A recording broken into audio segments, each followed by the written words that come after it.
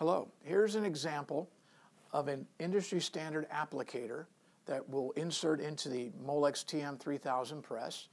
The applicator is, this one is manufactured by Molex. The applicator itself slides easily into the TM3000,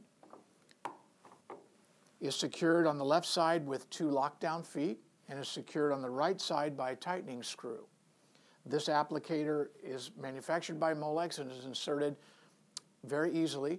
Other manufactured applicators would be inserted the same way and be tightened in the same fashion. For more information, go to molex.com, application tooling on the website.